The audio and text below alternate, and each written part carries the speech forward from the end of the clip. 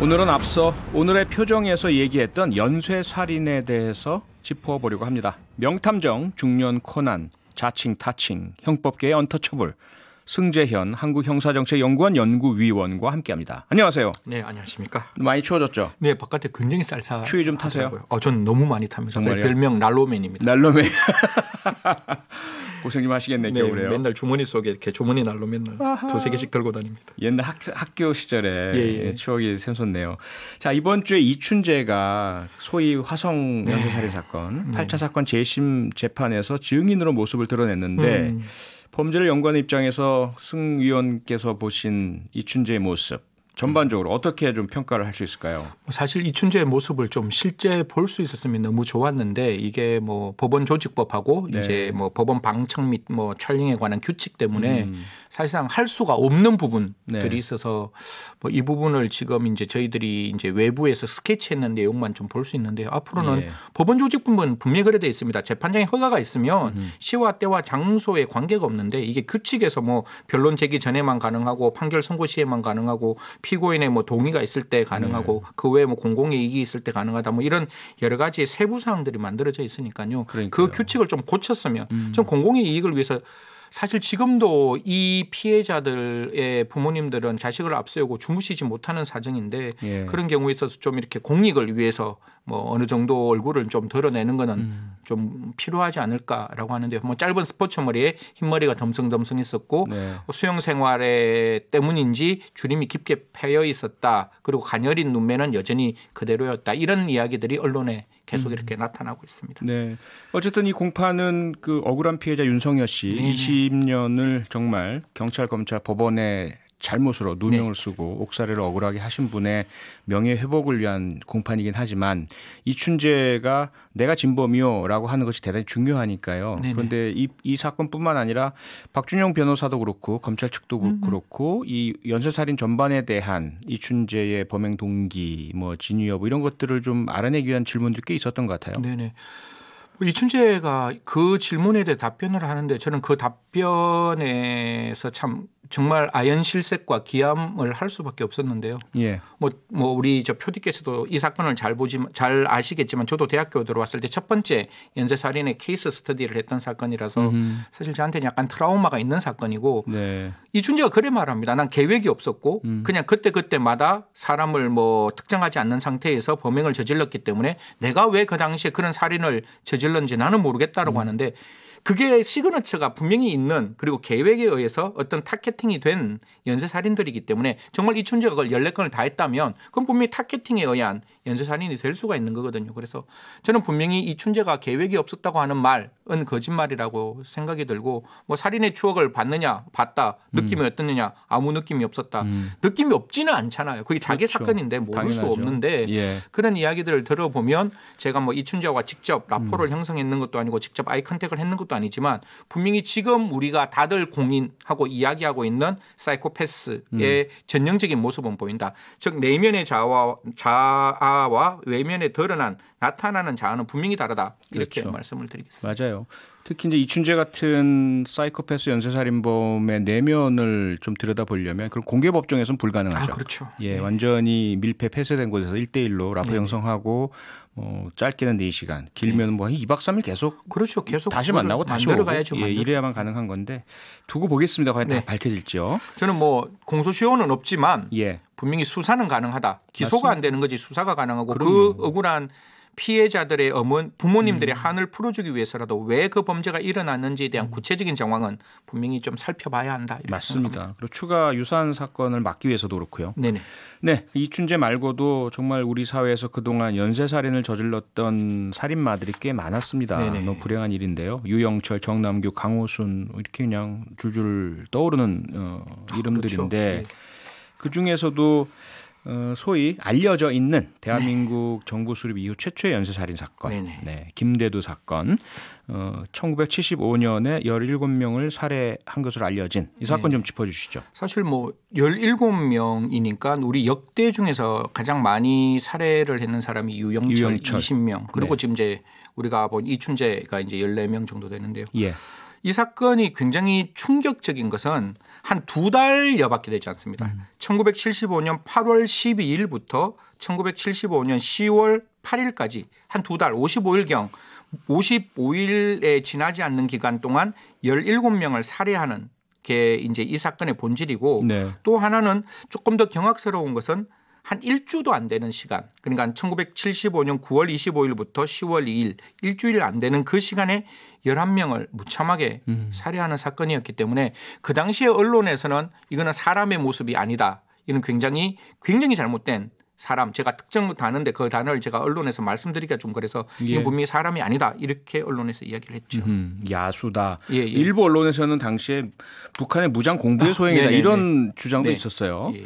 어, 그 17명을 살해했다는 것도 정말 끔찍하긴 한데 네. 더좀 말씀드리기도 뭐한 게 아기를 포함해서요. 뭐 노인, 연령, 성별을 안 가리고 살인을 저질렀잖아요. 아, 사실 제가 좀 청취자들한테 말씀 올리기 좀 죄송스러울 만큼 그냥 가면 일가족을 몰살시키는 것이었고 예. 아이들의 나이가 11살, 7살 이런 아이들도 사실 좀 말하기 어려울 만큼 무참한 방법으로 살해를 했고 갓난아기도 지금 생후 3개월 되는 아이를 살해를 하는데 그게 그 아이 어머니를 성폭행하고 아이가 우는 소리가 귀찮다는 참 죄송한 진짜 얼- 이렇게 말하면 안 되는데 네. 그런 이유로 아이를 살해했다고 하니까요. 예. 그 당시에 뭐 엄청난 사회적인 파장이 있었는 거죠. 그러니까요. 이 김대두의 연쇄살인 말씀하신 것처럼 55일간 지속되었고 장소적으로도 보면 이제 전라도, 경기도, 서울 네네, 이렇게 맞습니다. 예, 네. 돌아다니면서 여행성 살인이었는데 어 그러다 보니까 이건 못 잡는다 실체도 알수 없다 이런 음. 네네. 이야기들이 많았고 특히 그 당시엔 CCTV도 없죠 DNA 수사 음. 기법도 없죠 잡을 수 있는 또 꼬리가 잡히지 않는 상황이었지 않습니까 그런데 어떻게 잡혔죠? 사실 이게 저도 제일 처음에 사건을 봤을 때 너무 다른 예. 범죄 수법이 너무나 달랐어요. 맞아요. 그냥 뭐 일가족 중에 진짜 할머니 그다음에 중년에 있는 사람들 무차별로 사람을 살해하다가 다시금 어떤 여성에 대한 성폭력 사건으로 변했다가 뭐 또 갑자기 출소해 있는 사람을 만나서 그 사람을 무차별 살해하는 이런 사건이었는데 이게 정말 어처구니 없이 잡히는 게 그 마지막에 출소했는 23살 정도 되는 청년을 살해하고 그 살해를 한 그 청년의 청바지를 네. 벗깁니다. 예. 그래서 청바지를 가지고 와서 그거를 세탁소에 음. 맡기는데 어떻게 핑계를 대는가 하면 내가 코피가 나서 청바지에 피가 묻었다라고 하는데 코피가 나서 청바지가 흥건하게 젖을 만큼 코피를 흘릴 수는 없는 거잖아요. 네. 그래서 그렇죠. 그거를 세탁소에 맡기는데 세탁소에 있는 사람이 아 이건 뭔가 이상하다. 음흠. 느낌이 안 좋다라고 해서 경찰에 신고하게 되고 경찰에 신고함으로써 이제 잠복을 하고 있었어요. 네. 그 옷을 찾으러 올 거니까. 그래서 이제 잡았어요. 김대두를 잡았니까 잡으니까 김대두가 이렇게 얘기하는 거예요. 아, 그럼 내 코피는 아니었는데 그때는 내가 그 얘기를 못 했는데 동네 불량배들한테 맞아서 피가 났다라고 이야기를 하니까 경찰들이 그걸 다 찾아요. 동네 그 불량배들. 근데 한 번도 그런 사건이 없었는 거예요. 네. 그러다 보니까 계속 이렇게 그 경찰관이 묻고 이야기하는 과정 속에서 이제 그 자백, 자기 범죄를 자백하는 거죠. 예. 자백을 해서 내가 이 모든 사건을 저질렀다. 음흠. 이렇게 밝혀지게 되는 사건입니다. 네.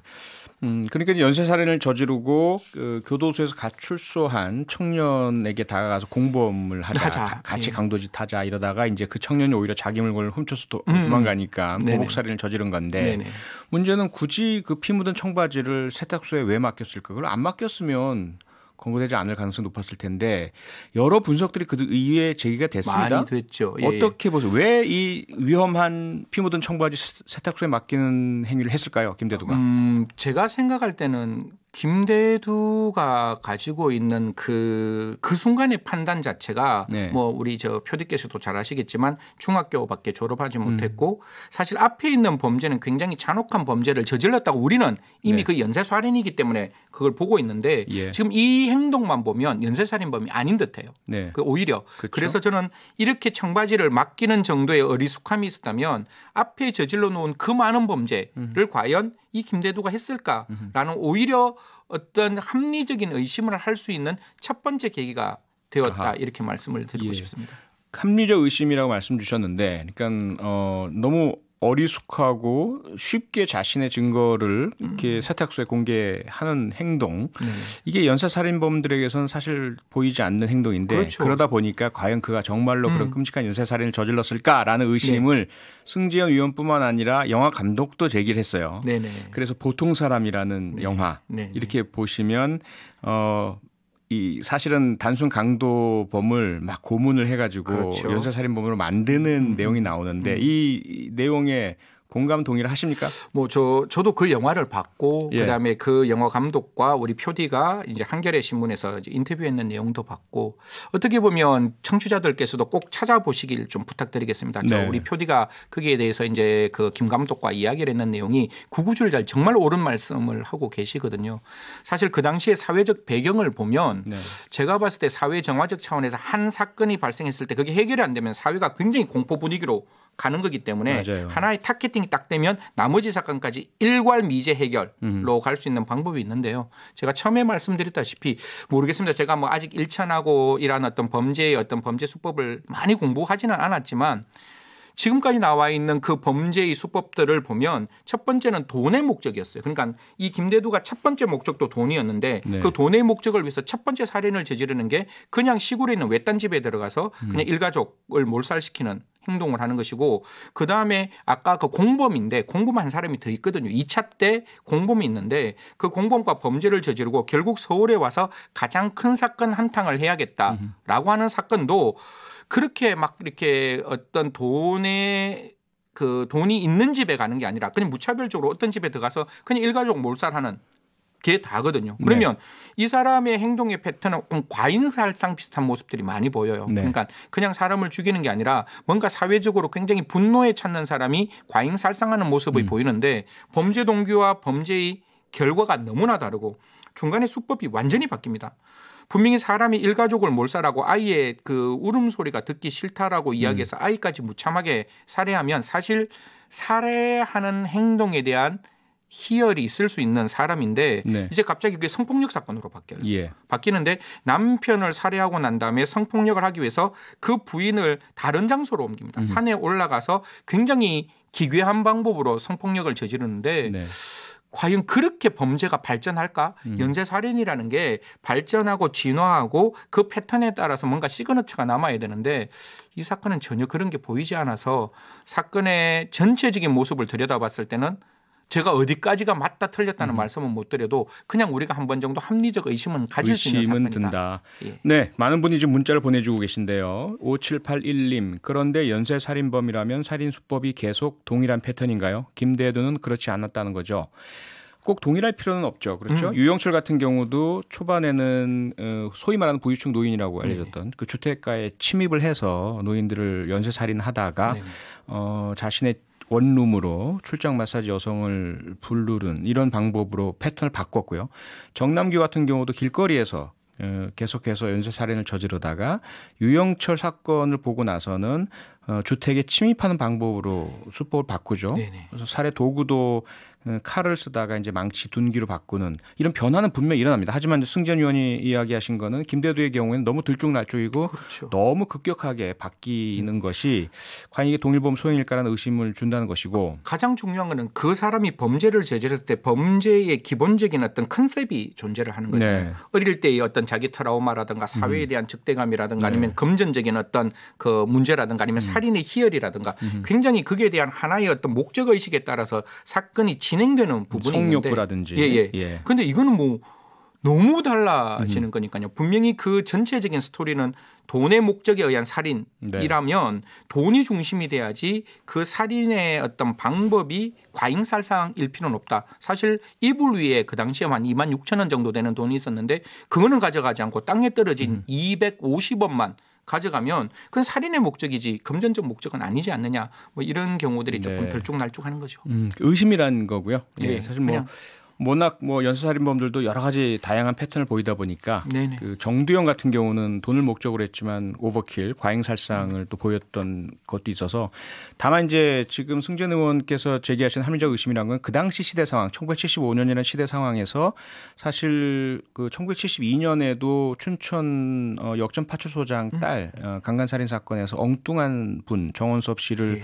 어, 범인으로 몰아서 억울하게 15년간을 그 옥살이를 하게 만들고 나중에 재심 무죄 판결이 났던 그때도 사실은 현장 증거를 숨겼던 것이 나중에 드러났거든요. 이런 일들이 있다 보니까 아무래도 좀 의심이 간다는 이야기고요.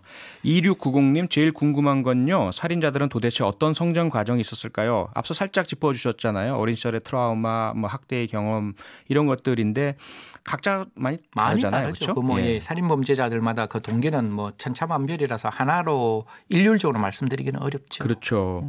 어 소련의 연쇄살인범 어 안드레이 치카틸로 같은 경우는 소련에서 공산화하면서 이 협동 농장을 모두 모두 몰아넣을 때그 부모가 한 방에 그 아이랑 함께 살면서 어, 지독한 가난을 겪고 그 이후에 뭐 또 독일군에게 어머니가 뭐 겁탈을 당하고 뭐 이런 여러 가지 것들이 이 치카틸로로 하여금 어, 연쇄살인범이 되게 만들었다는 이야기도 있고 다양합니다. 예. 나중에 시간 있으면 다시 그렇죠. 한번 꼭. 한번 이야기했으면 좋겠습니다. 벌써 마지막 질문 들어야 할 네. 시간이 왔는데 자 그런데 이런 연쇄살인범들을 좀 불행하고 안타까운데 어, 김대도는 사형 집행을 당했고요. 네.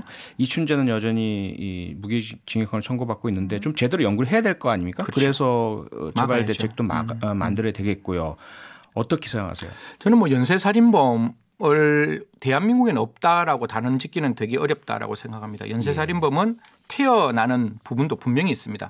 그다음 두 번째 사회가 만들어가는 부분도 분명히 있고요. 그렇죠. 먼저 사회가 만들어가는 부분을 막기 위해서는 사회의 불평등이 분명히 해소될 수 있는 가정을 만들어야지 그 불평등이 고착이 되면 사회의 분노로 나타날 수 있기 때문에 그거는 막아야 되는데 그럼 연쇄살인범 태어나는 걸 우리가 어떻게 막을 수 있느냐? 사, 사람이 태어나는 부분은 막을 수가 없는 부분인데 미국의 연방 그 법무부에 있던 강력 수사를 담당했던 검사가 저한테 했던 말이 박사님 연쇄살인범은 태어납니다. 하지만 첫 번째 살인은 막을 수 없지만 두 번째 살인부터는 막을 수 있습니다.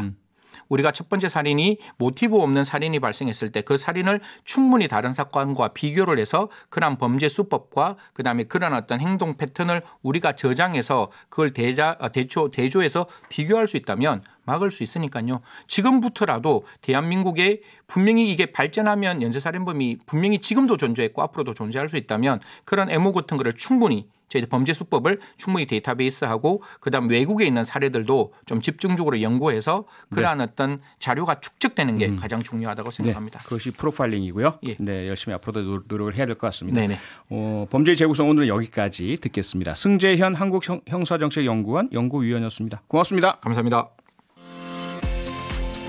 평일 저녁 6시 5분에 여러분을 찾아갑니다. MBC 라디오 표창원의 뉴스 하이킥.